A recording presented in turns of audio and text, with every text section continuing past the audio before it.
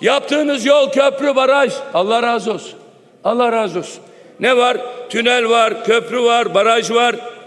Efendim havalimanı var. Akbaşoğlu. Bunları söylüyorsun.